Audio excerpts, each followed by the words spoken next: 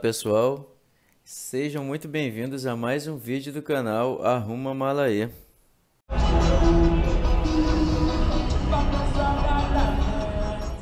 Nesse vídeo eu vou mostrar para vocês como é que foi a inauguração da Van no Shopping Via Norte em Manaus, que fica no bairro Monte das Oliveiras.